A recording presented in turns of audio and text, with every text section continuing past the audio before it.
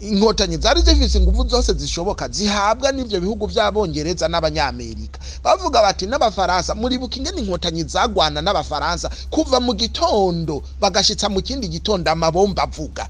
Mwese ngira ngo murazi ko ingabo z'abafaransa ziri mu ngabo zikomeye cyane mu vy'urugamba na cyane cyane mu vy'urugamba rwo hasi. Mugabo inkotanyi RPF kijya gihe. Baravuga bati ntituzogenda tubemereye yuko ntituzogenda tubemereye yuko mwicara muri iki gihugu n'isegonda mwarafashije abantu baduhekuye bagwana nabo kuva mu gitondo gushika mu kindi. Amabomba avuga isaha ku isaha. Wotwara neza bimeze kujya raba na tanzaniya yari yarumanganije iriyumanganya kandi bibo bifitiye amahoro nta ngorane umutekano wabo ura- urarinzwe nta icyo bikanga. Lakini bararaba mwarumvise amajambo perezida wa tanzaniya yavuze. Beza rero ndababwire bashaha ibyo mwigira abantu baberanda iki? Nimubona umuhari nka M23 ukomera kurya ugahangana na Kongo kumbure kuba ariko baravuga ko ugarukira mu Rwanda n'Ubugande u Rwanda n'Ubugande nibaba bashigikiye umuhari M23 mubone mumenye neza yuko Ubugande butagarukira hajya mu bunu Ubugande. Ubugande nabwo buragenda bugatumbagira bukagarukira kure. Kuko nibihugu ibihugu kandi bitegerezwa kugira imigenderanire n'ibindi bihugu vyaba vya Afrika n'ivya kure ya Afrika. Ukaja ngaho onye ukavuga yuko bambara neza bamenyereye bambara neza hakumva umengo baba bagiye kuri defile. Kiya ni kirobere eh kiya ni kirobere nimba ko kutobuza bije ya ntuze ya M23 ntiwo kubaho ukavuga ijambo nk'iryo nyiri umunyepolitike wo ku rwego rwo hejuru nk'uko wavyivugiye ngo yuko M23 yambara neza kurusha igisirikare ca leta ya Kongo twagomba kubigira ko ingene ari abantu bashobora guhaguruka bakavuga bati byanka bikunda turabakongomani ntidushobora kuzira ngo nuko tuvuga ikinyarwanda turabakongomani ubu ni bwo butaka bwacu ni bwo tuzemera tugafumbira Mulenge ni mlima, sio kabila. Wanaojiita Wanyamulenge ujue kuna mlima unaitwa Mulenge. None no nagoma nonge ndakwibariza mwene data. Iyo uriko uravuga ibintu nk'ivyo bisigura uko bagiye mu mateka y'igihugu ntebwe turiko turinjira mu mateka y'igihugu twebwe turiko turensista kuri iyo ntambara iriko iraba muri Kongo ishingiye kubiyita ubwoko bw'abanyamurenge.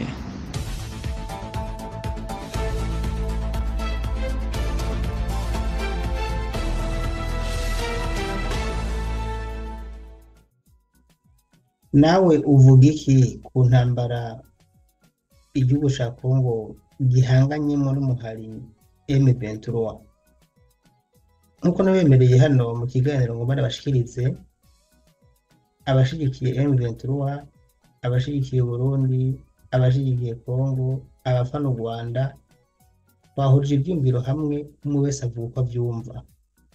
Sinzi n'aho uherereye mu mpera no kumviriza ikiganiro ni kirekire muri hangana kibara isaha yose. Muraza kunyandikira kuri whatsapp namwe. Nimba ari audio mumpa nimba mushaka ko tuganira dusesengure kuri zoom. Byose birakunda. Reka dukurikire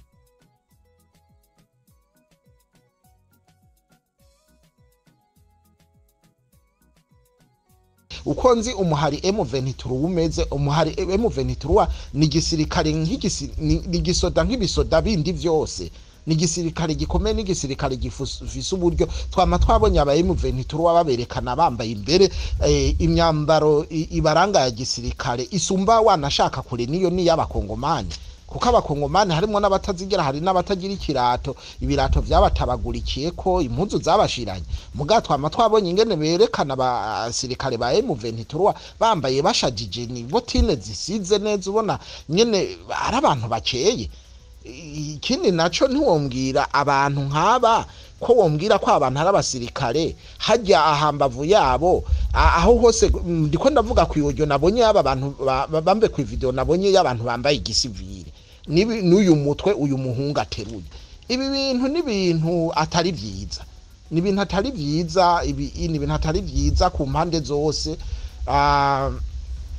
Je nk'uko navuze navuze ati nifuza amahoro. Nifuza ko abantu bogira amahoro. Mugabe ibisi vyiza muri rusange. Uterura umutwe w'umuntu ukeneneka mu kirere.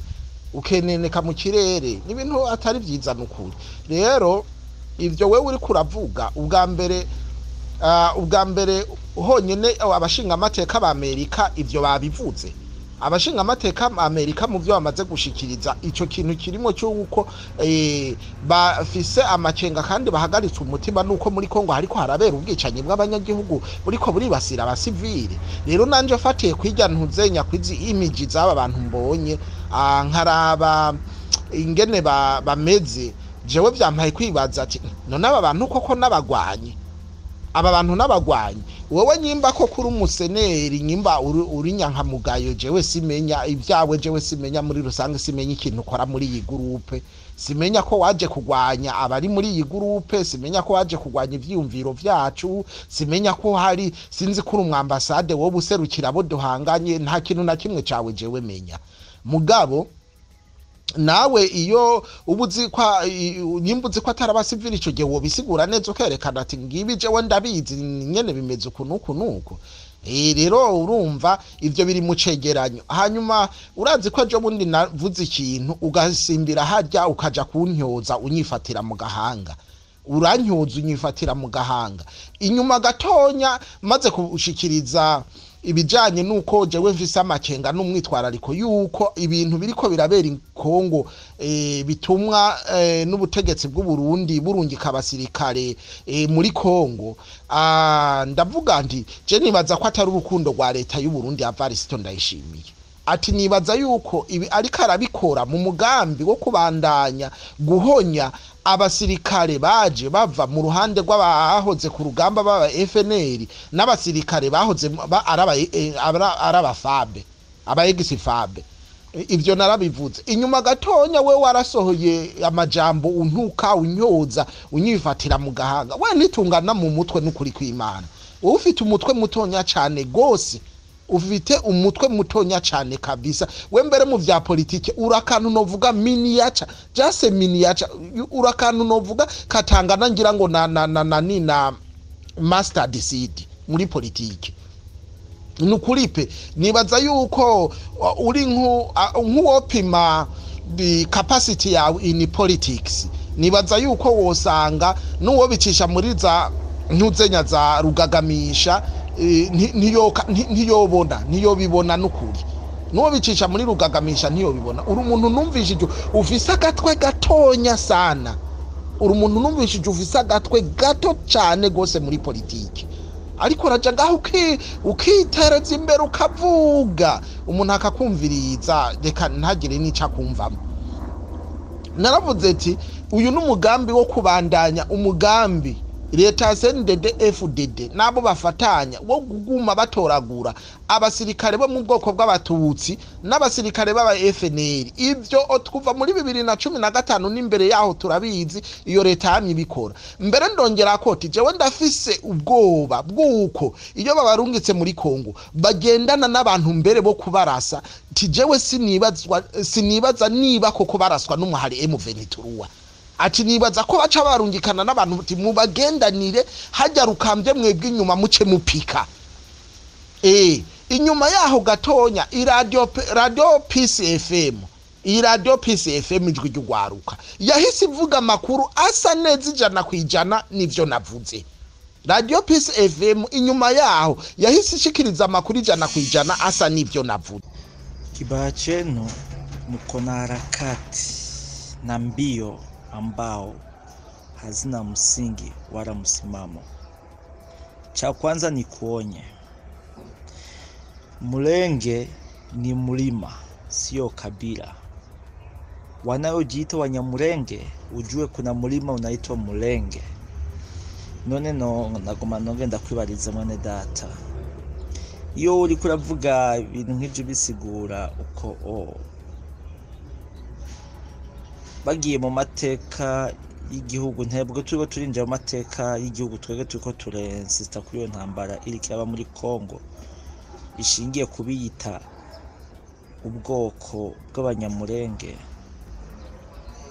bavuga yuko bavuga ikinyarwanda bari ku butaka bwa kongo wowe wagiyomba kuja kudusigura ibintu vy'intuzenye vy'amalimite di peyi nyene bagiye baralimita abo bantu. Ba- abavuga ikinyarwanda baja kuri kote ya kongo iki n'iki mugabo? Aho hantu urahihendeye kuko exactly nta muntu azi neza umunsi itariki cyangwa umwaka. Abo banyamurenge uriko uravuga binjiriye ko canke babaye abakongomani.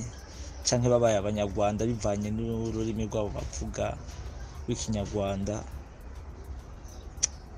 uriko uratubwira uriko uraducanganya. Nk'uyu muntu avuze ngo ngo ni hatari ngo ni ihonyabwoko ririko ngo ri kubera ngo ikongo. Ihonyabwoko ri kubera ikongo abariko barakorerwa ihonyabwoko ni bande? Abariko barakorerwa ihonyabwoko ni bande? igihe u rwanda rdf isanze abahutu bahungiye muri congo bakabica bakabahambamo ry'amashamba ya congo.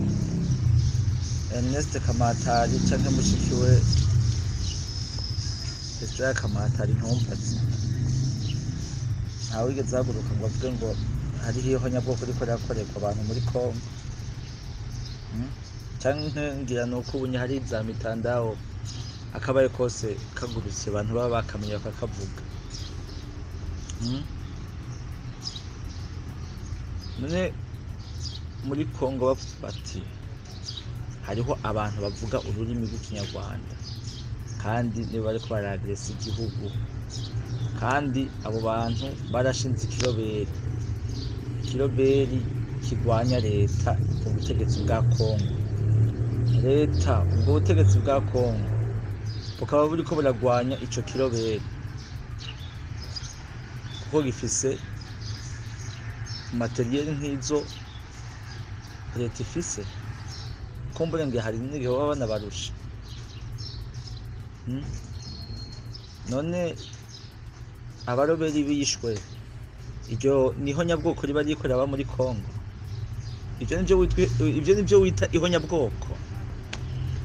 Tugarutse mu burundi guhera tuvuge icenda na kane na gatatu ahantu twaba twabonye intambara basiri usibye za rindwi na kabiri za tandatu na- gatanu n'umunani nari n'umunani. Za ntega na maranga hariya reka tubanze tubyihoze tuje ku by'icenda na gatatu. Ko abagiye guhabuza demokarasi bafashe ibigwanisho hakaba haraba intambara. Abaroberi bapfuye baca bavuga yuko bariko barakorerwa ihonyabwoko canke kuri kote ya leta bapfuye nabo baca bavuga ngo bakorewe ihonyabwoko ndabasha ivyo muba muvuga vyitwa ihonyabwoko mubanza mushire ubwenge ku gihe ubanze mumenye n'ivyo mu- muriko muravuga ivyo ari vyo Eh, sinari bwaheze nari nkivuga mbwira uno muhungu nimba bamwita nde? Nimba ari sabushimike nimba ari inde ni we nariko nkibwira. Sabushimike urakwiye ah, gu- gukubita ubweru ukamenya ubwenge. Ureke kuza uritanganiza witanganiza mu bintu utazi. Urakunda kwitanganiza rwose witanganiza mu bintu utazi utukana. Mbe ushikirije iciyumviro utarinze gutukana aho ntibokumva kwashikirije iciyumviro. Nta ndero ugira ntaki. We warerewe hehe uri umurundi urinde. Urashobora kwa muri kura uritanganiza utuka abantu ataco bakuvugishije. Nimba nabivuze hari umuntu wigeze wumva ntukari uwo nigeze wumva asagare navuze ati ibi bintu siho nyabwoko kandi nari nisunze icegeranyo c'abashinga amateka ba Amerika kuko Amerika iriko irakurikiranira hafi ibintu biriko birabera muri Kongo. Iriko irabikurikiranira hafi. Eh, rero nk'uko mubivuga ahubwo ndashimiye cyane abantu ariko baravuga bati ibi bintu bari bakwiye kuza barareka kubizana ngaha muri groupe. Ibintu biteye ubwoba nk'ibi by'imitwe y'abantu bacagaguwe by'abanyagihugu barambaraye hasi ba- ba- ba- ba- bakubiswe insoro imitwe bamenaguye ibintu bari bakwiye kuza barabyiha bo nyene basi bakabiraba bo nyene ubwabo. Bakaza barabiraba hagati yabo. Umuntu atazi amaraso y'umuntu atabonye amaraso y'umuntu aseseka. Niwe yumva amaraso y'abantu ariko araseseka canke abona bariko barasesa amaraso akaja hajya akavyina ngo nibindi. Ibi ni ibintu vyo kuvyina uri umuntu ufise umutima. Ahubwo ngira ngo mm, ivyanyujewe biranyobera we maze kuvuga ry'amakuru maze kuvuga ibijyanye n'ibyo niyumvira ku basirikare kuko uri kuranabaraba uri kuraraba bajya abasirikare. Ugakurikirana n'amalisite yabo urasanga majority yabo bagwiriyemo aba egisifabe bava mu bwoko bw'abatutsi. Abandi nabo ba- nabari aba FNL uko CNDD-FDD yagumye itoteza abo bantu kuko ku ruhande rw'abatutsi murabizi neza yuko CNDD-FDD yashatse ngo yigarurire ngo imitima ngo y'abahutu bose ngo mu kwerekana yuko ngo abatutsi ngo ari bo batubangamiye urumva ngo bice biduha kwibagira amarorerwa CNDD-FDD iriko abahutu. Bi- bice biduha ngo ivyo tuvyibagire. Kugira ngo ngo igarure ubwoko bw'abahutu kuko urumva ituyizi yuko ngo abahutu ari bo benshi. Urumva kubigarurira vyoba biheze urumva icyo bagisigaye urumva ba- abatutsi boca babanyagupfa gusa atakindi murazi ko iyo turufu CNDD-FDD yayikoresheje hambavu yaho naho murazi neza yuko agatotezo yakoreye abantu baba FNL ari bo nuno musi gitoteza babantuzenya baba seneri. Uno munsi muracyabona ko nuno munsi umuntu yitwa wese ko afise iyo nkomoko yo muri FNL nuno munsi arakicwa aracahigwa buhungu. Aracaronderwa bunyamaswa. Ugaca usanga abantu bamwe bamwe biyicariye ngaho ntacyo bibabwiye bimererewe neza reka nta ngorane bimererewe neza nta kibazo ntacyo bibabwiye ntacyo bibatwaye ni iminsi mikuru. Ubundi se abo bantu b'abanyamurenge we uvugaga ntuze nyimbo risaba ushimike ntumbaze. Abo bantu b'abanyamurenge uvuga b'abakongomani none abanyamurenge we bagukoreye iki? Ni kihe kintu abanyamurenge we bakugiriye? Abanyamurenge n'igiki bagutwaye. Abanyamurenge ngaho mu Burundi baraza kukubuza kurya ivyo wago ukagombye kurya. Abanyamurenge ngaho baraza kukubuza baraguteye ku itongo ryawe tigimuke mugende. Abanyamurenge ngaho nibo birirwa baranyuruza inyankamugayo. Ubu twoza kuraba twosanga izo nyankamugayo zirirwa zirayongobezwa ziyongobezwa n'abanyamurenge abanyamurenge nibo bariko barasiga amazirantoke ku miduga y'abantu iyo mu bubirigi n'ahandi. Nibo birirwa barabomagura basibanganya ingoro za seneri. Ivyo bigirwa n'abanyamurenge none ku- kuki wumva rwose ko wonezerwa no kubona abanyamurenge bapfuye. Abanyamurenge mufiki ni igiki muri rusange bagukoreye? Ugomba kuvuga ikintu abanyamurenge ba- bava. Nyimba babona yuko bashobora kurwanira uburenganzira bwabo ni nk'uko n'uwundi uwo ari we wese no ngaho yobugwanira. Ubu aho bigeze ubu byari bigeze yuko umu umuseneri w'inyankamugayo n'abandi barundi bose barenganywa nabo bokora nka bijya abanyamurenge bariko barakora. Ahubwo ndabemera bo ni n'abagabo ko barenganywa bakagira nako gatege.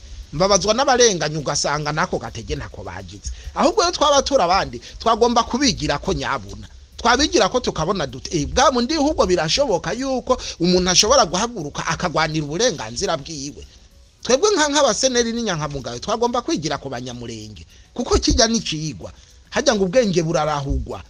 Twagomba kubigira ko ingene ari abantu bashobora guhaguruka bakavuga bati byanka bikunda turabakongomani ntidushobora kuzira ngo nuko tuvuga ikinyarwanda turabakongomani ubu ni bwo butaka bwacu ni bwo tuzemera tugafumbira. Twagomba kubigira ko tukavavanura n'ibi bintu byo gutega amazosi birirwa batemagura. Abantu birirwa baza bayora abantu mu mihani waba ataco babagize babavugishije bagenda guta muri za ruhurura. Ahubwo twagomba kwigira ku banyamurenge tukavuga duti bwa bundi birashoboka ahubwo natwe duhaguruke duhaguruke ahubwo dukore nk'aba.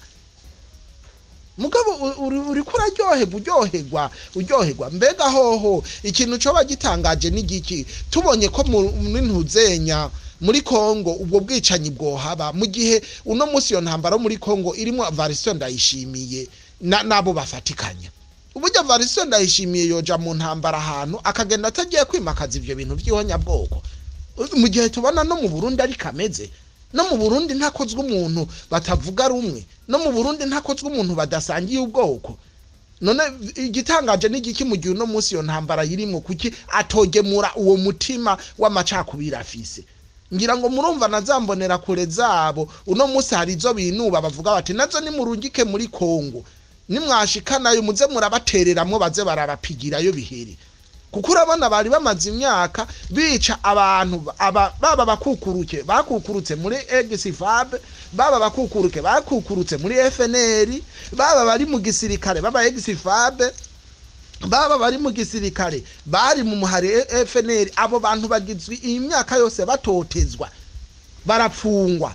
Abadafunzwe bakarementanirizwa hari abakivuyemwo baromoka barahunga uyu munsi. Hari n'abafatiwe n'izindi ngingo. Baranse kubadugiriza amapete. Amapete aba FNL bashikiye ko ni na yo nuno munsi bakiriko. Nta mu FNL yigeze aduzwa ipete. Uyu munsi uri kuraraba. Nta kindi gituma tubona majority y'abantu barungikwa ikongo b'abasirikare b'iwacu mu Burundi. Hagwiriyemwo abatutsi nabo bantu bari aba FNL none wibaza uwo n'umugambi wiki? Ni umugambi wo kujya babamarireyo kuko ngaho bahora babiciraho. Abantu bakanavuga bakavuga bati umuntu yari umu FNL yanyurujwe yakuwe mu gisirikare yapfunzwe.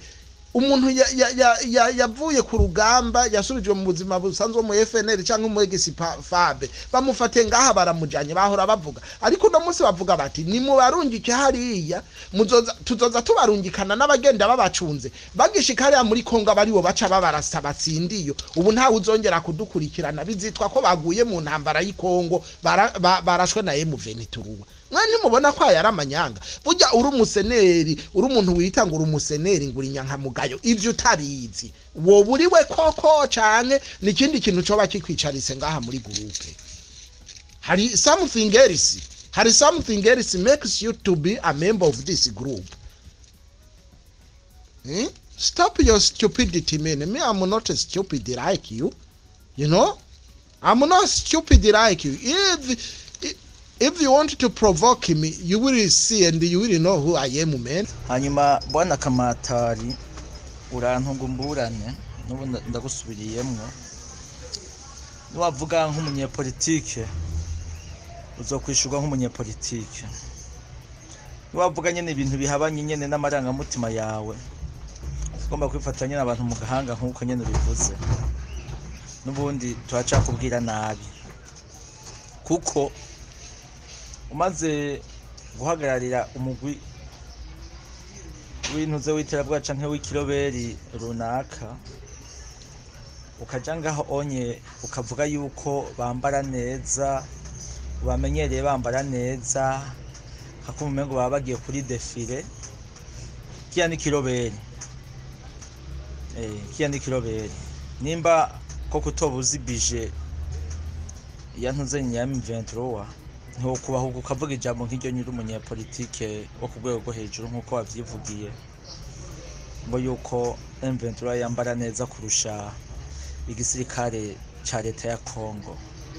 Yuko ngo hariho n'abatambara ibirato n'abadafise ibirato ahubwo ko ari bo barobera ahubwo. Nk'umuntu afise umutima n'umutwe n'ubwenge. Yumvise nk'amajambo nk'ayo onye uvuga urumva ko yoguha ikibanza ciza cane rwose akakuduza ipete muri politike. Ahubwo yokwibaza uwo uri n'ico ushatse kuvuga. Muri make ni ho nagutahukiwe. Muze muraraba ibintu muze muravuga. Ivyo navyo uvuga ngo noba naje ngahanye muri no groupe. Undi umu ambasaderi wabo w'ibintazi. Wowe ni we ubivuze Eh, wowe ni we ubivuze wowe ikorera iyo politiki yawe ngaho muri australia niwaruha uze utahe igihugu cyo kuyibandanirizayo ari byo byo kuvuga kuvugira ku birometero ibihumbi n'ibihumbagiza. Ukibaza yuko ayo majambo yawe hari ico azohava ahindura nta na kimwe. Biratangaje cane gose kumva yuko ahamagariye inyankamugayo ngo ngo zikore ngo imi- ngo ntuze ngo nk'abanyamurenge ngo tubigireho ngo dukore nk'abijya ngo abanyamurenge bariko barakora. Urumva yuko bihabanye na ideoloji y'umugambwe CNL ubwo rero abantu bakurikirana uyu mugabo Ernest Kamatari ku bintu avuga biragaragara neza birumvikana yuko urwanko afise yinyegeza inyuma ya, CNL ariko afise iyindi ntumbero yiwe afise iyindi migabo n'imigambi yiwe muri make twavuga yuko igayitse. Kuri burya ushinga ntahe? Bwana Ernest Kamatari urantangaje cyane rwose. Ibi bintu sinari nzi yuko byo kuva mu kanwa wigira ngo uri umuntu w'umunyapolitike wo ku rwego rwo hejuru. Ni hatari. Ni ya politike yo ku rwego rwo hejuru wariko uraturatira yuko ukora canke uvuga. Uvuga ibintu nk'ibi.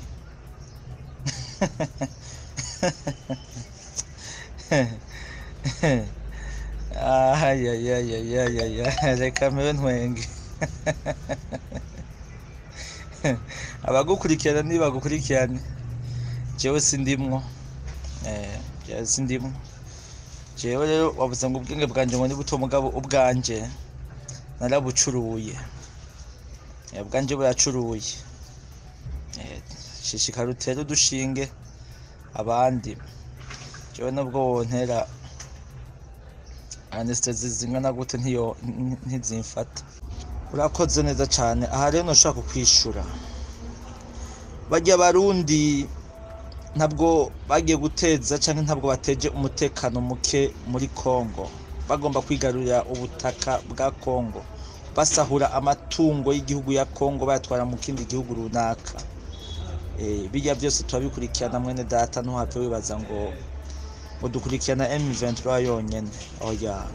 Ubwoko bwose buri ku butaka bwa Congo nimba ubwo ubwo bwoko bwo bari bisuma byagiye gusahura ubutaka bwa Congo canke bigiye kwiba ubutunzi bwa Congo bubijana mu kindi gihugu ubwo bwoko uvuze bw'abarundi bari muri bahajya mu buvira kandi bafite n'umwami wabo n'abantu b'intungane batunze batekanye batekereje ata muntu bahohotera babanye neza n'abafurero nta ntuzenye nta kabi kabo. Hari umunsi n'umuriga wumva leta ya kongo ibavuga ko ikintu negatifu Eh, kuko ubona abantu b'abanyamahoro. Rero n'abajya abantu uri kuravuga b'abanyamurenge baba bari abanyamahoro bazi kubana neza n'abantu. Atari abambuzi baja kwambura ubwo butaka canke baja kwigarurira ubutaka bw'abandi babwikebera ngo za bunagana za sake za ngo za ngo za rucuru ngo za kicanga za hehe na hehe za masisi ngo za ngo za goma hehe na hehe bigarurira ubutaka bwa kongo ivyo onye biba vyaragize biba vyarafashe intumbero ni ukuvuga ngo baba bemewe nk'abanyagihugu nk'abandi. Pani ibintu byo kugenda urazi yuko utari mwenyeji canke u- ufise amamuko yawe. Hama ugaca ugomba kuba mwenyeji ku nguvu. Koma ivyo bintu mu- muguma muvyidikiririza muguma mugomba guhomeka amase ku rutaro ahomoka yamaze kuma. Ivyo ni biki? Mwene wacu rega biragoye biragoye.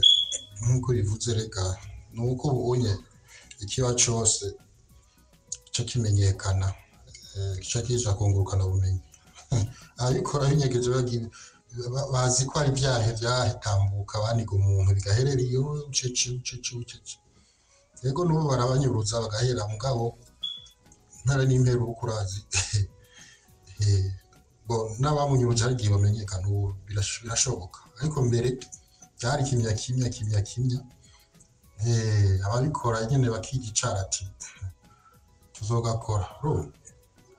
Bakica abantu gihorera gihorera ntibimenyekane.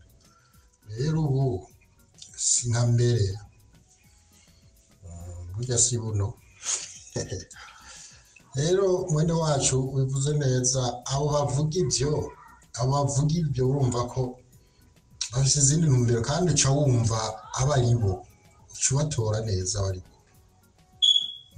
Ubatora neza bo none ko ngiri ko yivuna umwase ite ibindi bikurikira ni biki hama iryo nyabwoko warivuga ko ari nyabwoko.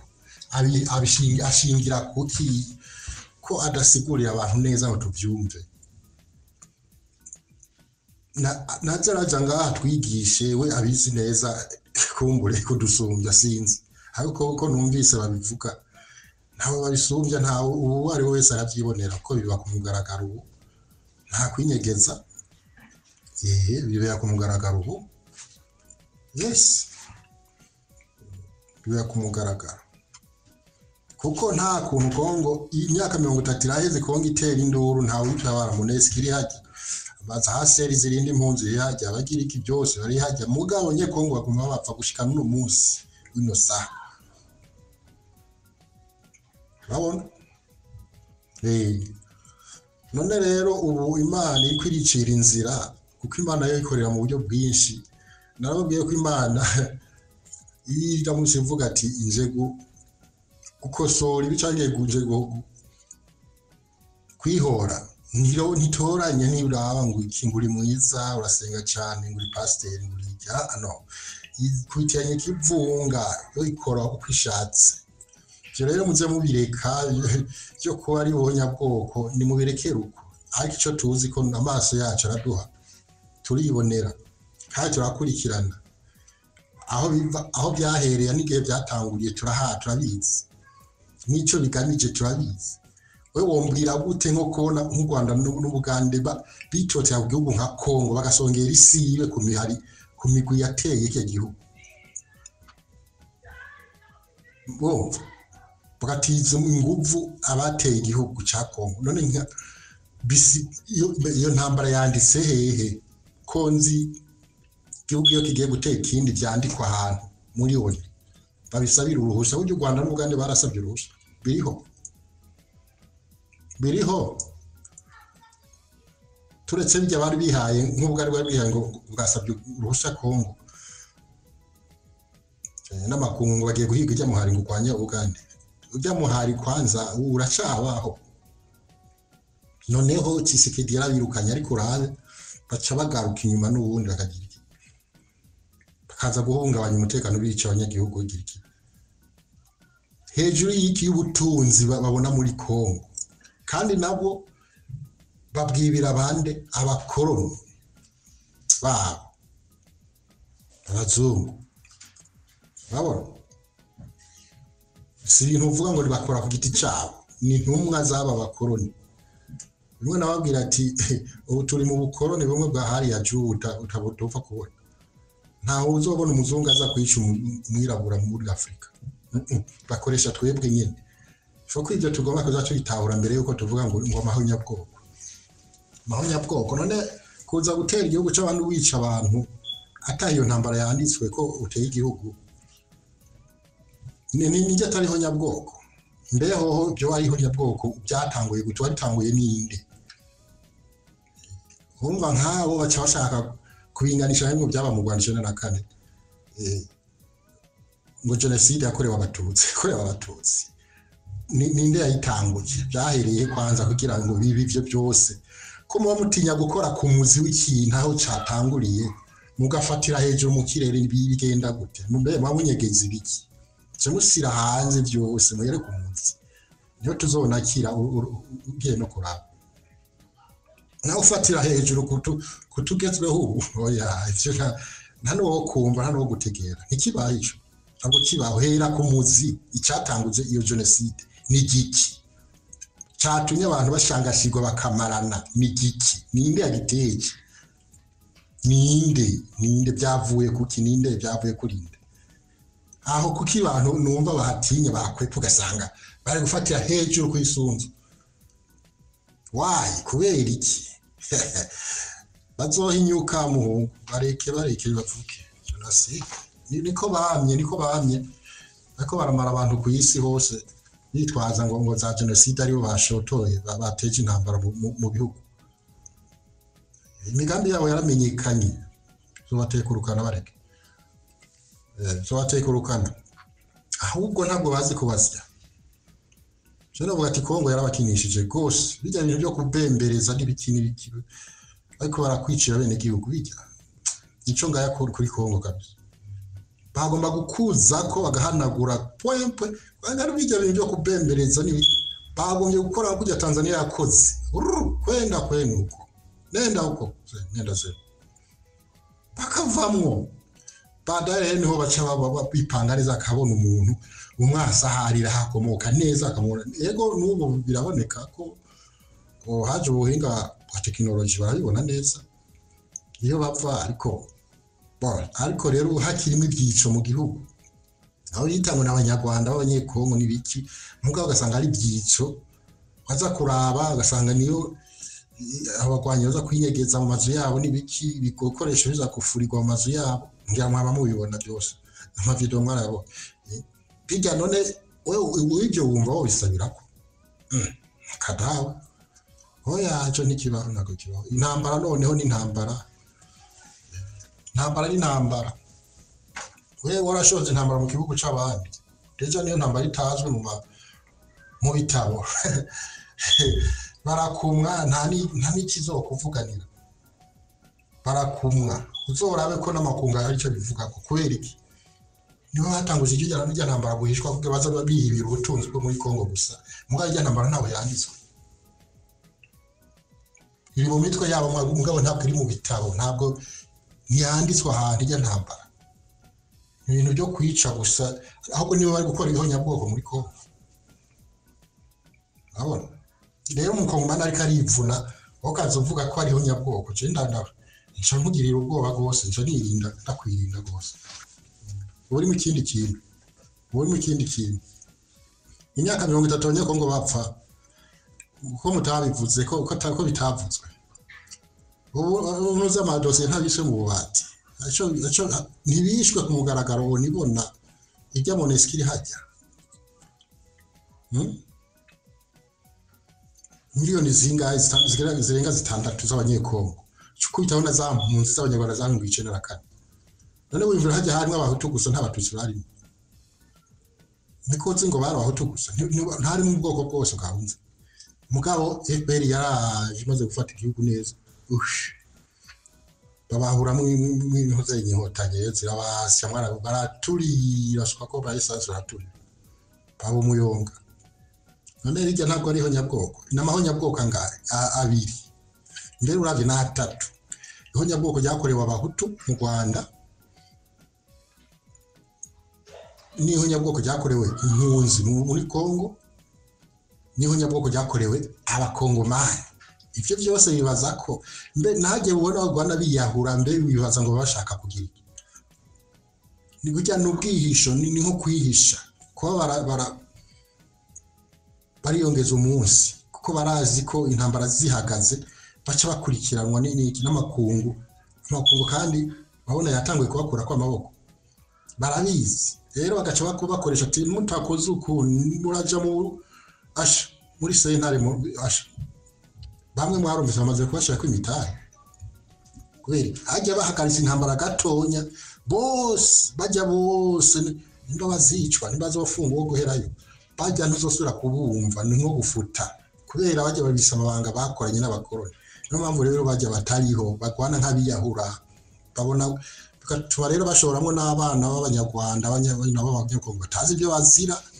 Bakora badahembwa babatwara ku nguvu bamwe bamwe bafutse ibitambara mu maso mwarabibonye. Ibyo byose oh, ugacuza ngaho. Iyo nyabwo iyo nyabwoko abantu ubu nibo bari kwishora ku icumu. Bagwanya intambara batazi bamwe bamwe bazira ubusa.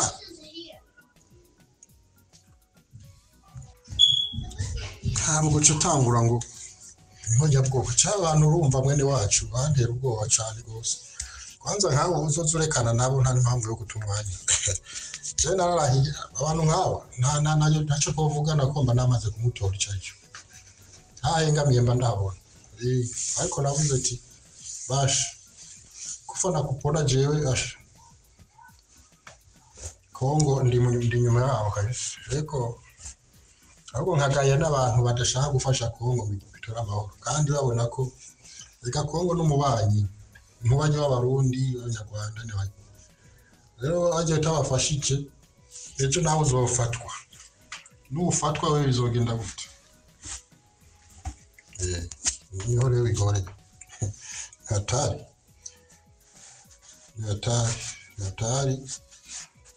Nka bijya bintu byo kuvuga ngo ingabo z'uburundi ziri kugwa muri kongo hano kweri baba- hano hari abantu bigira ibicucu kabisa kandi bakunze vrema kamengo ni bwo bakibona intambara ni bwo bakibona abasoda bagwa ku rugamba ni bwo bakibyumva ikiyumvira abo bantu ese abantu n'ubwoko ki? Umusoda n'umusoda. Aguye ku rugamba none. Icya mbere barasinyiraniye amasezerano yo gutabarana ibindi n'ibiki ahandi bari muri sadek ibindi n'ibiki so uca wiyumvira aba bantu baba bashaka kugera kuki ugaca uvuga ati haha mwitonda harimo kidobya nuko rero wene wacu mwene wacu urakoze wagerageza ariko hmm, ukubwira ibitumva beza rero ndababwire bashaha ibyo mwigira abantu baberanda iki kamengo ngo muri seneri ni ho hari aberanda benshi rwose benshi rwose ibi bintu sinzi iyo mubikura ibintu bamwigira je mbamona ngaha mw'iguru ugasanga umuntu ashaka kwigira umuntu w'umutakatifu cyane adashaka kumenya ibintu ibi na biriya kandi ugiye kuraba kandi bimwerekeye. Bijya bintu biri kubera mu karere byerekeye uwo ari we wese. Uwo ari we wese biramuraba. Ni mu karere ni kontina yacu twese. Rujya rugamba twarushojwemo na ba mpatsi ibihugu tugomba kururwanira hamwe wese sinzi ko tuzorwanira hamwe ata- umuseneri atarimwo yigira sindabibazwa kandi none uri woca umbwira gute ibyo urimo ko uzoshika amahoro? Wakati akarere. Uri kurakoreramo kata- katameze neza ibintu bitameze neza. Eh? ko umuriro tuzi waka urandagata ukurikiriye utwatsi twumye turi. None wewe ibyo muba mwigira n'ibiki ntacyo bitumariye ngaha ntacyo cemba numva amajambo abantu bavuga nkatwenga ku mutima kabisa we kabisa aba ni ho vyo kabisa. Abantu ni ho vyo kabisa. Seneri ntabwo ari ikigirwamana tuyirimo mugabo si ikigirwamana cyo gutuma tuta tutamenya ibibera muri kontina yacu mu karere kacu. Mbere akarere kacu kazokira. Mbeho ho seneri yogera ku butegetsi. Ata amahoro ari mu karere wibaza ko we wotwara neza umuseneri kabisa. Wowe watwara neza bimeze kujya wotwara neza bimeze kujya raba na tanzaniya yarumanganije iriyumanganya kandi bibo bifitiye amahoro nta ngorane. Umutekano wabo ura- urarinzwe nta icyo bikanga. Lakini bararaba mwarumvise amajambo perezida wa tanzania yavuze. Ngo ntajya amajambo na yo na yo umuntu wese umuseneri uwo ari we wese umunyafurika wese agomba gukorera ko ajya amajambo samiya suru yavuze ni inkoramutima. Hajya si ukuvuga ko hari inyungu agiye kubikuramo nyinshi. Oya oya nuko azi ko boto ibyo ibyo aho bisha bishira. Bijya byototera ibihugu byose bi- bifise umutekano bigifise ubumwe. Zirya ntambara ni cyo zigamije. Mbe iyo bakubwiye ko bari gutegura empire hima ntacyo muba mutahura muba muzi ko nibakora empire hima bakabishikako ntibabishitseko neza wewe museneri. Wowe uzotegeka bikunde wewe nikuze. Murazi ko bashatse ubundi bashatse guhera mu burundi baradonora biranga. Basanga mu burundi ni urutare harugaye. Birabananira mwarabibonye. Haca bahindanira rero muri kongo ko bashaka kubanza gukuramo uburundi bashiraho bifuza bazoza bakoresha. Hama baza bash- bashinga base mu burundi baza batera burundi babwira inzira icambu zo kuza bambukira ba- baca mu burundi bujumbura bace za bukavu onye no. Biborohere abandi baca baca hirya rero baca kuma bayishira hagati. Badaye izo mu ngo ngo za Kinshasa.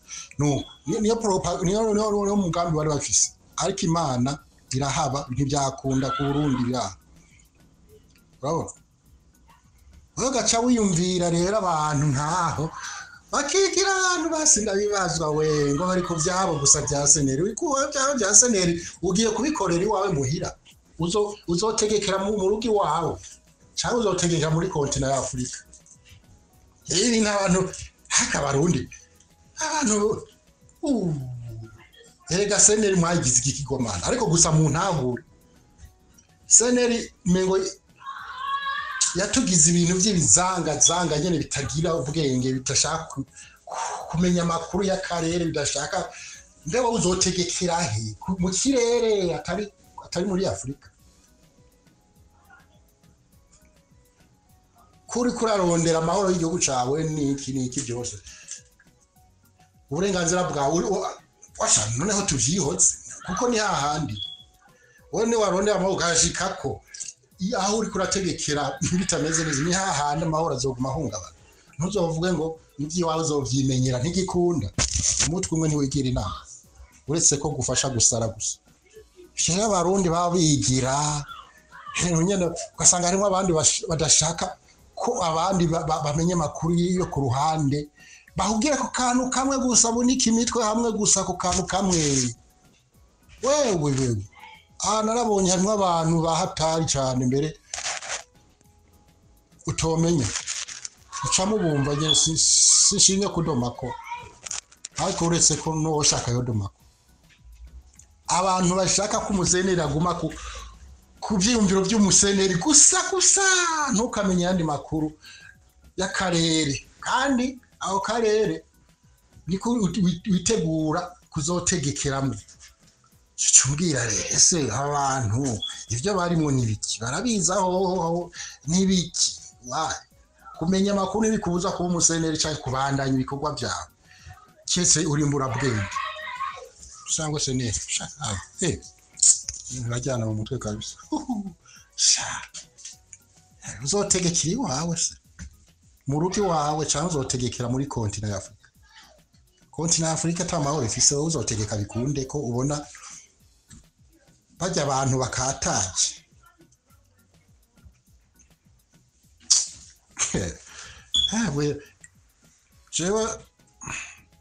Mbehoho mbe urazi urazi n'igituma seneri dindira kudashaka ubutegetsi kandi ububasha bufise. Itsinda biga- bigacamo. Urabizi urazi abariko barabikora izo propaganda urazizi wewe izo izo bintu ze politiki urayizi wowe ikintu ura- urabura wamuzi wewe. Igituma seneri itaraja ku butegetsi kandi ifise ububasha bwose n'ingufu zose no gutsinda ikabinatsinda bikaboneka. We wowe sigura urazi ababikora wewe. Wowe urabazi. Ndabibutse kandi namwe ndababwira ko nzo ndabibuka mwibuke ko tutatsinze intambara bajye twagwanye. Nta ntimwabatsinze. Mwibuke ko intambara yahagaze. Mbe abo mwa- mwagwanye nabo kiya gihe barihe narababaje barihe? Mbe bajya wumva wibuka umenye ko CNL ikiri FNL pakoto nibo batumye bajya abantu bava ku ngoma zabo mu gihugu cy'u Burundi. Urabona? Bijya biyumvira ko binezeza bajya abantu bagwanya kiya gihe. Kandi bazi ko bari ni- bari- bari kominike na Uganda n'u Rwanda. Ibyo hari utabizi. Utabizi ninde? Wiyumvira ko byabaryohe kandi mumenye ko ari mu mwatanguje urugamba. Nk'aba nk'aba- nk'aba FNL mubagwanya kiya gihe ariko bo barabasuba bakina umutwe babakubita icenga. Bana nta n'impamvu yo guhona n'ibiki bajya n'ibigogo bareke. Hagarika intambara. Babakina akajede mamugiye arusha. Point intambara ntiya- ntiyazimye. Kwabaye kugira ngo kujya uzimya agatado. Barazimize gusa ariko bo bibereye ahantu kidogo. Urazi iyo bari wowe? Nama n'ababajije mwarabafasheho bari imbere y'ubutungane hari n'umwe afunzwe barihe mwe mureka basha mwe mba mudafise ubwenge reka abana bafise ubwenge babamwe ahubwo baba bicaye ko niyo sha sinzi. Mpaka muciye ubwenge jewe bajya abagabo ndabashima kabisa. Reka baze baraducisha ubwenge nitwe tubirererako Ah, ubupumbavu nk'ubu buzohera ryari mu barundi. Ubu ni upumbavu kabisa. Murazi intambara ntayo mwamazi nimwatsinze intambara mwebwe. Abo mwagwanye ntabo mubona mu- barihe mwarabafashe mwebwe. Eske mwewe nk'abaseneri ko dawe mwumva igihugu muragifise mwaragifashe. Murategeka muri ku butegetsi. Ko mwatsinze nimwe muri ku butegetsi. Abari ku butegetsi ni bande? Ni bandu? Mbe abariho ubu neza badutwariye neza. Ibi bintu ibi bintu ibi. se mumenya sha inyenda muvano y'ibintu mbere yuko muvuga ati muhurikiye imitwe ku kintu kimwe gusa mudashaka ko kwaguka mwagura akarere mumenye ibintu n'ibindi. Ndabahaye umutihani murazi igituma. Sene ritava hiri kandi ubona ifise inguvu n'ububasha n'ubushobozi. None ubu urakabona barayizimije urazi icyo byavuye ko urakizi wewe?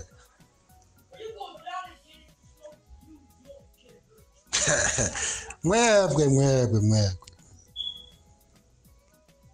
Ntibikiri nibanga washanda nabivuge na nanya ko waza ubyumvire ko mu batuma seneri idateye imbere umenye ko. Harimo bajya abantu bimenye neza.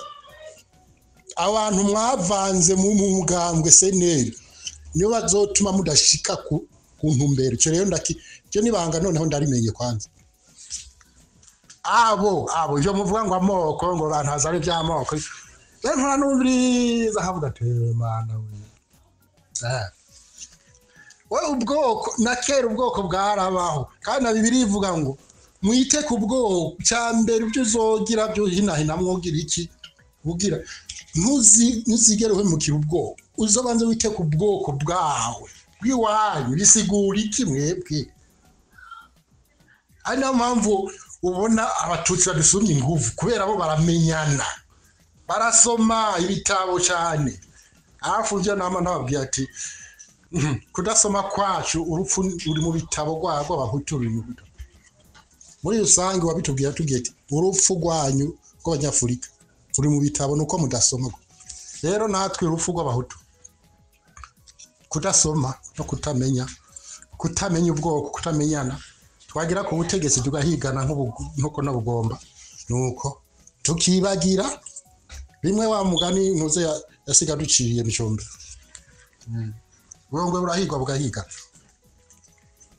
Ushaka umuhutu amuta umuwundi nuko ni byo kandi urabona byaratwometse kabisa.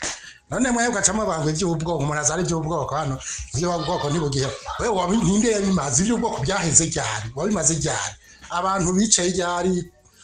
Basase intazi z'imigina zarashashe tubona abantu basabana imbabazi byarabaye byabaye ryari byabaye ryari byabaye ryari byaheze ryari by'amoko byari ninde yabimaze? Mbe abari mu mitungo y'abandi abari mu matongo y'abandi bishikije kuva inani na kangahe itandatu na kangahe gushika ubu. Baravuye mu matongo y'abandi. Abantu biciye abandi n'ubu bakibona n'amaso ku mazi tujya n'inaka ya marindya. Barasabanye imbabazi ntibatunaraye mu matongo yabo kandi babangaza bigira bamwe bafungije abandi babicisha amarozi. Ibyo ntibizwi. Ibi bintu mwebwe mwigira ni iki by'amoko wowe wabimaze ryari? Iyo mushaka kwibikamo ikara mu mufuko riturira mwebwe ibyo ni ibiki mwe mbe ni gitsigiri nyamwinshi gisohoka mu burundi kijya kwiga hanze. Ni bande ni bande ibyo ni mubizi ni bande abako biga hanze cyane ni bande ni bande abahutu bashapfa ubwo bwoko muba murimo mumenye mwimenye nk'ubwoko. Izi ntambara ubona zicishikana mu karere nawe zihiga zihiga umuntu yitwa umubantu. Bo bashaka gusigara ari bwoko bwonyine kontina yose bayigaruriye yose. Basigare ubwoko bumwe. Umuntu yitwa umubantu iyo bamubonye isese mirabira sinzi rero ko nawe uba utari mu bantu ko turazi ko seneri umugambwe b'abahutu ntimukaze mubinyegetse byo kuvuga ngo ni umugambwe urimo bose ngo ibiki wapi watanguye watangujwe nande? Wawutanguje yari afise iyihe ntumbero? Yari abikuye kuki yari yashaka kugira ngo yari abikuye kuki? Yari umuki. Ubwoko bwe bwari ubu. Dutangura intambara twagwana tuvuga ko turi kurwanya iki? Harafu abarundi be. Bigira mu basenderi ho nka bagatemwe mwijyamire kuri n'abundi ho karasopanye mu mitwe. Nuko bandanye basha mu ikindi mwomenya ko ivyo muriko muravuga je nibaza ibi naratanze umuco kera. Ibi uyu muntu ariko aravuga aherezwa n'iyi namba y'amajana atandatu na gatanu yitwa john. Ibi naratanze umuco kera naravuze nti nta muntu ashobora eh, kuja mu rugamba adafise inshuti ngo urwo rugamba ruba urugamba. Igihe cyose iyo ugiye ku rugamba urugamba ni ibintu bisaba uburyo bwinshi. Ni ibintu bisaba inguvu bisaba uburyo bw'amafaranga bisaba energy nyinshi bisaba diplomasi bisaba ibintu byinshi bitandukanye abahinga eh, aba- abantu batandukanye abahanuza abakonseye n'ibindi n'ibindi n'uburyo bwinshi. Aho ntituvuzemo ivyo vy'ibigwanisho ntituvuzemo ingendo kuko ntimubone umuhari nka M23 ukomera kurya ugahangana na Kongo kumbure kuba ariko baravuga ko ugarukira mu Rwanda n'Ubugande eh, u Rwanda n'Ubugande nibaba bashigikiye umuhari M23 mubone mumenye neza yuko Ubugande butagarukira hajya mubona Ubugande Ubugande nabwo buragenda bugatumbagira bukagarukira kure. Kuko n'ibihugu ibihugu kandi bitegerezwa kugira imigenderanire n'ibindi bihugu vyaba vya Afurika n'ivya kure ya Afurika rero ivyo je nibaza narabitangiye umuco kuva kera ndababwira ati ico si ikintu wohora umuntu. Icyo si ikintu wohora umuntu igihe wowe uri kurarenganywa ukagira imana ukabona umuntu avuga ati jewe kwa kweri akababaro ufise nakumvise. Akababaro ufise nakumvishe ngiye kugufasha. Uwo muntu utegereza kumwakira kuko ivyo uburondera biba ari byo ni ukugira inguvu. E, utagize uwugufasha ngo agushigikire mu rugamba. Izo nguvu ntazo wogira wo zigira uzikuye hehe urugamba ni ruca ruba nka rwa rundi twagwana muri za mirongo icenda na rimwe. Abantu bagenda batera ibuye bakubita urusasu rumwe uwo mwanya nyene ruba ruzimye birabandanya iza mirongo icenda na kangahe uko nyene urusasu ruzima. Kuko uriko urabiraba ziriya ngamba nta bari bashigikiye. Naratanze uburorero ndabereka ati Ah, uburundi bwarakunda kwagiriza nka tanzania yuko ngo ifasha abatera uburundi ngira ngo muravyibuka ku ntwaro ya perezida petero buyoya Ya- barakunda kwagiriza eh, ko u rwanda rufasha abatera uburundi biciye kwa minisitiri babo haba uwatwara eh, intwaro hagati mu gihugu yaba warashinze iby'imigenderanire y'uburundi n'ayandi makungu murazi ko i- uburundi bwaragiriza cyane tanzania ko ifasha abatera uburundi. Mugo ugiye kubiraba nta nta bufasha tanzania yigeze iha abatera uburundi. Ubufasha bw'imbaraga bwo kuvuga ngibyo ibigwanisho ngaba abamenyereza b'abakomanda ngabo turabarungikanye nk'uku numva muri ko muravuga muti ingabo z'u rwanda n'iz'ubugande ziri muri kongo. Kuko nk'ingabo z'ubugande byo ni ibintu bisanzwe cyane Eh, ni ibintu bisanzwe cyane kuko birazwi ko ingabo z'ubugande zari zituye ziri muri kongo kuva na mbere n'izi ntambara zitarongera gusu- gusutama kandi ku ruhusha rwa leta ya kongo none ubu woca uja guhora ingabo z'ubugande ko ziri ku butaka bw'igihugu ca kongo mu gihe kugira zibe no ku butaka bw'igihugu ca kongo zahawe uruhusha na perezida kishekedi.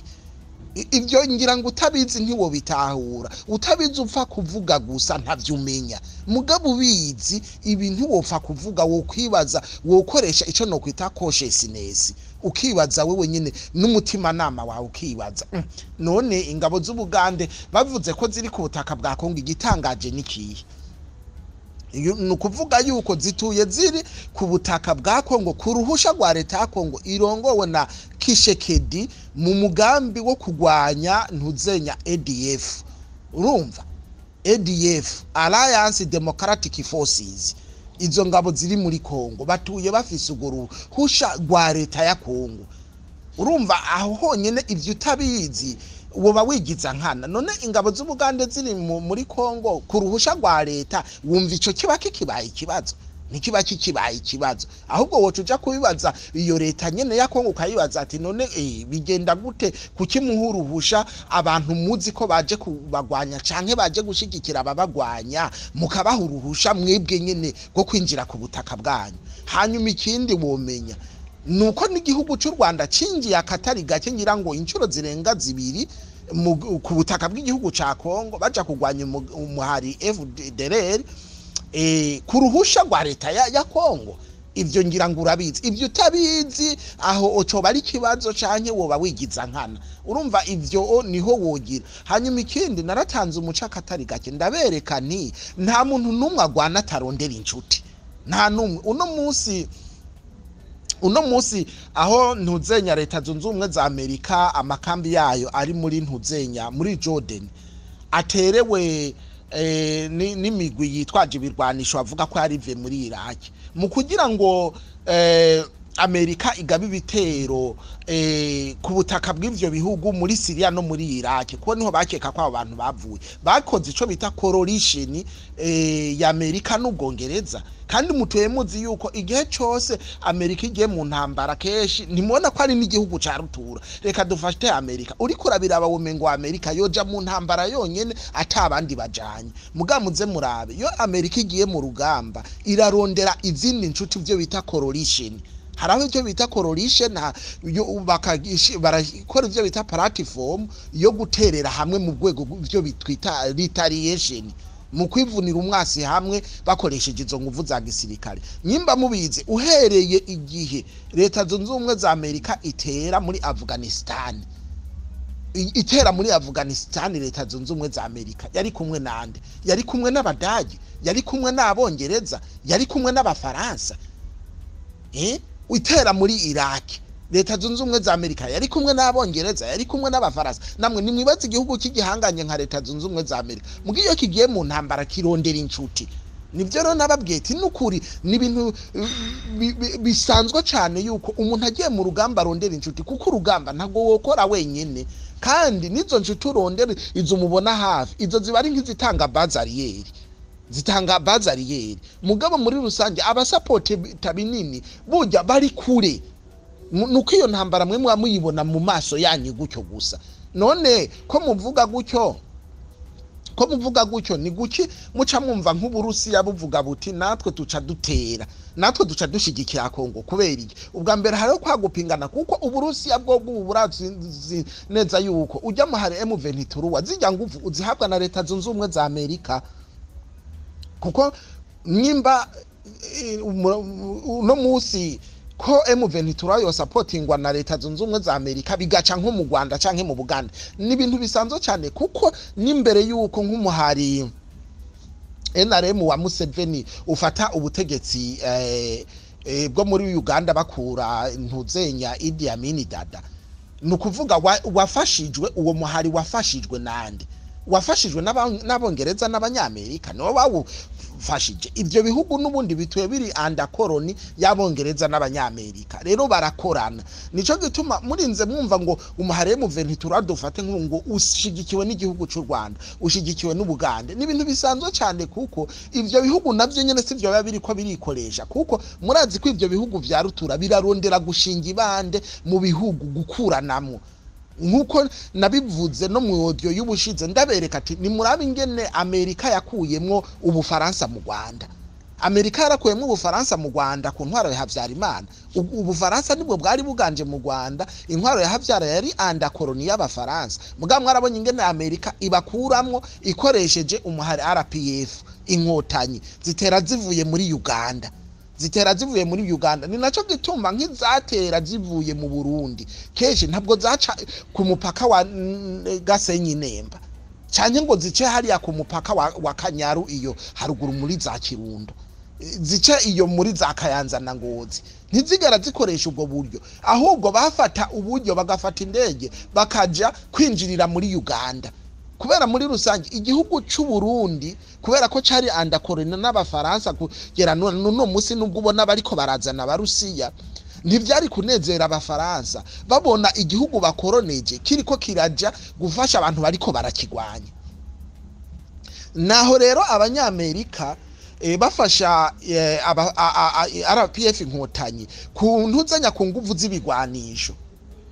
Ni- ni- nyimba ubufaransa buhaye eh, nka leta y'u rwanda uburyo bwo gutera nk'amabombe ku munsi nk'igihumbi. Amerika yaci- yaciye inkotanyi uburyo bwo gutera amabombe nk'ibihumbi icumi ku munsi. Urumva habaho kudaboringa no kudaboringa mwe urumva intambara muyibonera mu maso ngaho ibyo byose mubona biba. Ariko si ibyo mubona ni ibintu bifatiye hejuru. Ibyo utabizi ni hahandi winjiye mu- muri bene ibi. Usanga uriko uravuga ibintu gusa bijyanye n'ama emotion. Eh mu- mugabo ntugire reality. Reality. Hakabaho kugira ibintu vya reaction gusa kumbure according to someone's feeling. Mugabo uri umuntu uri umuntu ivyo ubizi. Nta n'akamaro kuko wokwiriwe urata umwanya muremure aharira ibi wotegerezwa kuba bamaze kuvyandastandinga kera rero ni ibintu bisanzwe cyane yuko abantu bakora urugamba bararondera inshuti. Narababwiye mu iyogiyo bushize ndababwira ati nimurabe ingorane twebwe twagize. Mu ngamba twagize. Nta nshuti nimwe twigeze tugira ya sapotinga rujya rugamba. Kuko twaca tuja kurukorera muri Kongo. Kongo na yo ntiyari gushobora gusapotinga urugamba ruja kugwanya ubutegetsi bw'i Burundi. Kandi Kongo yari anda koloni y'Ubufaransa ni na cyo gituma ubona n'abareditabari iyo bagiye muri Kongo kuba nk'ukuyerera gusa kuko nta nguvu bashobora kuhagira kubera ko na nuno munsi Kongo iracari anda koloni y'abo bafaransa. Kuyerera gusa kubera nta mufaransa yemera yuko uja gutera mu gihugu ciwe. Ntibikunda kuja kwamukura ni naho mwabonera kijya gihe inkotanyi eh, abafaransa muri zone tirikwazi ijya zone bari bafashe bagashinga. FPR inkotanyi mukurikiranye neza muza gusanga. Burya abafaransa ntabwo batashe ku bushake. Ntabwo batashe kuko babishaka nyene bijya vyo kuvuga ngo reka tuzinga amatenzi ngo hanyuma ngo dusubire iwacu. No ntabwo ari uko. It was not their willing. Ni ukubera pressure. Kubera inkotanyi zari zifise inguvu zose zishoboka. Inkotanyi zari zifise inguvu zose zishoboka zihabwa n'ivyo bihugu vy'abongereza n'abanyamerika. Bavuga bati n'abafaransa muribuka ingene inkotanyi zagwana n'abafaransa kuva mu gitondo bagashitsa mu kindi gitondo amabomba avuga. Mwese ngira ngo murazi ko ingabo z'abafaransa ziri mu ngabo zikomeye cyane mu by'urugamba na cyane cyane mu by'urugamba rwo hasi. Mugabo inkotanyi rpf kijya gihe. Baravuga bati ntituzogenda tubemereye yuko ntituzogenda tubemereye yuko mwicara muri iki gihugu n'isegonda mwarafashije abantu baduhekuye bagwana nabo kuva mu gitondo gushika mu kindi. Amabomba avuga isaha ku isaha. None mwibaza bijya nibo koko baba bariko barabigira. Ababigira bari abo nyene bari abo nyene ni naco gituma mwumva iyo nk'umwaka kanya leta zunze ubumwe za amerika zitanguye kwerekana their consent batanguye kwerekana umwitwarariko wabo n'amakenga ku bijanye n'ibiriko biraba muri kongo kandi ntababesha ijya n'inzira yo gufatira ibihano leta y'i kongo ibyo rero utabizi wojamwo hajya ugaharira. Ijya n'inzira yo gufatira ibihano leta y'i kongo kuko ubu bariko barayagiriza ibyaha vyo mu ntambara ivyo bita worozi canke se ntuzenya woro crime. Urumva e, ibyaha byo mu ntambara. Bariko barayagiriza ko iriko gukora genocide. Rero hajya byo batangaza mwumvishije nk'ubu ngo ibihano ubu nyene vyashiriweho leta y'i Kongo harimo ivyo kutagura ibigwanisho. Kandi ivyo nibamara kubishiraho ni ukuvuga bizoba bihaye inzira wa muharinde wa muhari M23 wo kuja gufata Kinshasa urumva vyari gusumbwa nuko bagira iki nuko bumvikana. Kuko kenshi je nama nabibonye abantu kenshi bafise bene uwo mutima wo gukumira abandi no kudashaka ko abandi babaho. Uzosanga barakunda kugundira ubutegetsi bagaheba bakanafunga amaso niyo babona bageramiwe niyo babona bageramiwe eh?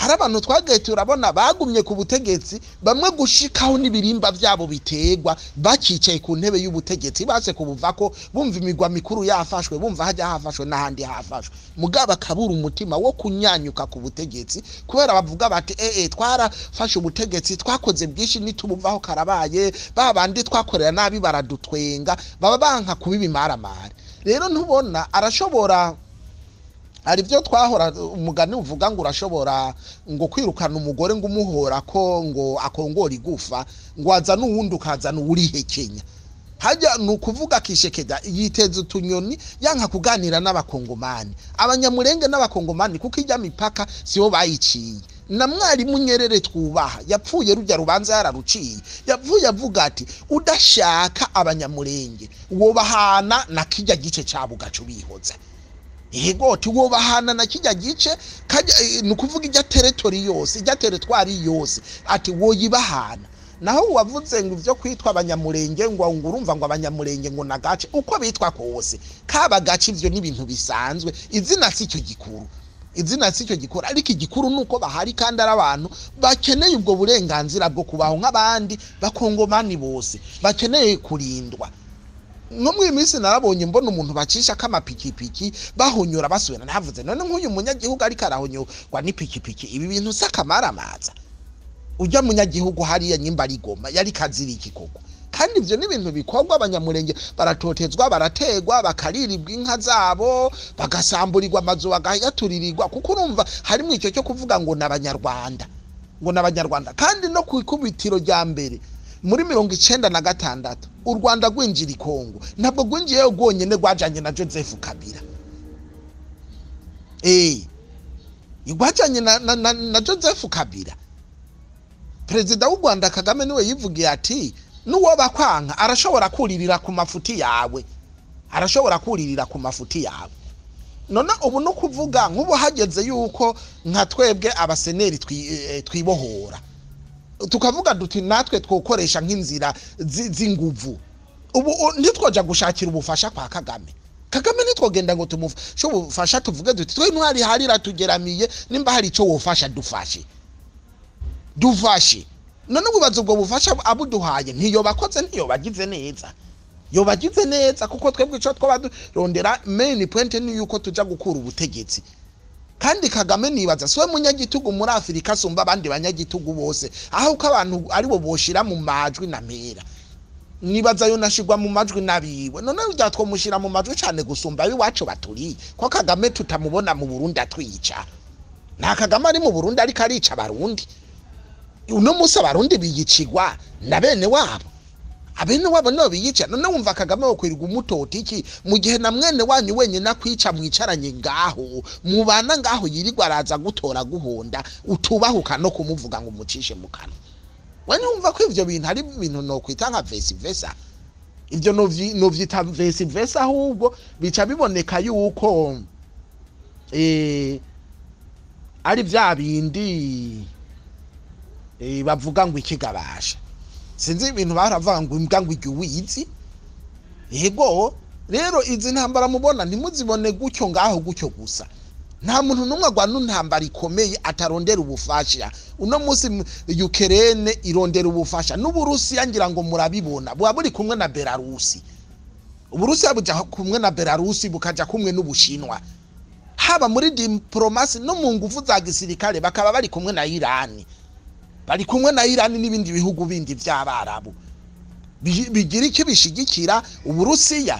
Kandi murazi ko igihugu cy'uburusiya n'igihugu gikomeye. Muga kirakenera ibindi bikoresho vya gisirikare kikanakenera n'aba- na- n'abandi bahinga n'abandi b'abamirisoneri kugira inguvu zikomere. Kuko urugamba urugiyemo ivyo utabishoboye utarondeye abagenzi urwo rugamba woruremesha gute?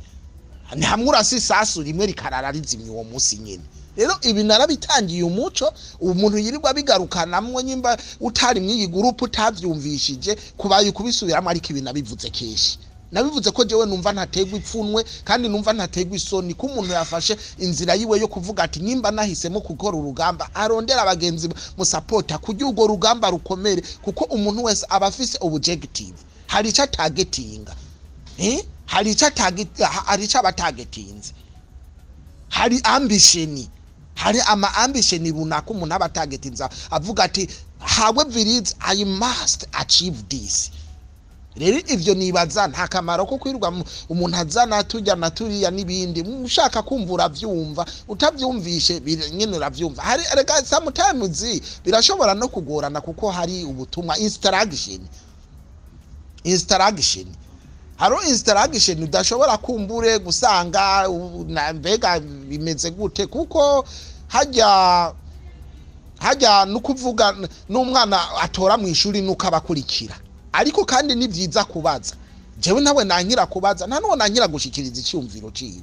Woshikiriza icyumviro cawe ukashikiriza uko uvyumva. Mugabo ibintu vy'uko umuntu avuga ikintu umuntu akaduka hariya agutuka kandi ntiwamuvugishije nta jambo na rimwe wigeze umubwira.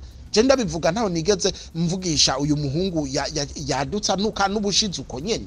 Nta na hamwe mba namucishije mu kanwa je mvuze ikintu nta na hamwe. Mugambi numva yaduka anukaho kugira ngo avuge ati kwibi bintu uvuze ngibinanje ko ndavyumva ngo atange details. Urumva ngo atange details. Araja ngaho gusa akavuga akavuga akongera akavuga. Yego ni cyo gituma mwabonye habyarimana kugira ngo afatirwe ibihano kijya gihe yabifatiwe ni na pressure novuga ni influence y'abanyamerika mu nama mpuzamakungu ya oni. Kuko nibo bapushinga bakavuga bati dutegerezwa gushyiraho ibihano kw'iyi leta bituma itagura ibigwanisho. Kuko nubwo kandi urumva ko ari bwa bufasha bwa diporomasi kuko iyo wewe umuntu aje akagufata amaboko akayabohera umugongo ni ukuvuga aba ahaye inzira ujya mu rwanda ko aca iki aca kunesha aca gukubita hasi ubwo nyine. Rero ntim- ntimuzoze murafata ibintu hejuru. Mwige kwimba mu mizi mwige gukurikirana mugire research basi. Gira research. Nugira research ukasacinga ukagira ama investigation ukitonda kumbura ugasoma n'ibindi binyamakuru canke ibitabo ukumviriza neza amaradiyo mpuzamakungu ukumviriza mu madokimante mu- muri izi bita dokimenteri n'ibindi bizogufasha. Bizogufasha ko hari igihe dupfa guhangana ugasanga turazanye ibintu vyo guhangana. Mugabo n'ukuri ntakobesha hageze nk'igihe twovuga ati reka twicare turabe nk'abakoca reka twicare turabe abarifirizi reka twicare turabe babandi bita ngo n'abajaji n'ukuri ntakobesha wova ngaho neza neza umaramaye gusa nta kindi. Rero burya abantu tuzoze turagabanya ibi bintu eh, ntuzenya eregezi hari ibintu usanga turiko turakora vyuzuyemo ibintu eregezi gusa. akamenyetso ko Eh? guteranya amajana atatu mirongo itanu n'umunani mirongo ine na gatandatu mirongo itanu n'umunani mirongo itatu na rimwe amajana atatu na cumi na kane. Nitwa Daniel Mugisha ucunyirikira ubunyene hanyuma nawe ugira icyo uterereye twebwe ntitugira n'umuntu n'umwe dukumira. Murakoze.